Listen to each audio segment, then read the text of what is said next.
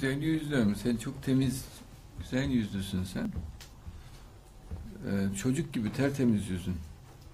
Allah seni korusun, kötü insanlardan korusun. Seni hayırla yaşatsın, sevinçle yaşatsın.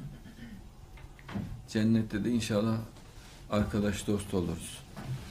Ben güzel yüzlümü gene dinlemek istiyorum.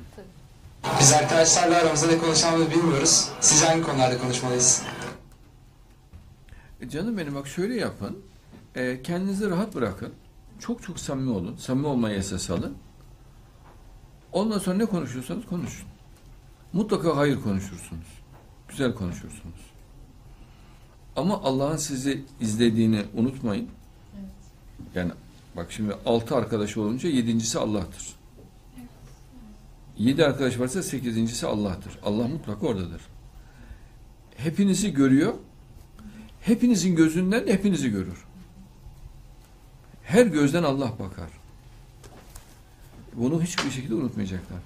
Allah'ı severek ne konuşuyorsan konuş. Zaten her konuşman sevgi amaçlı, Allah amaçlı olacaktır. Dolayısıyla çok güzel olur.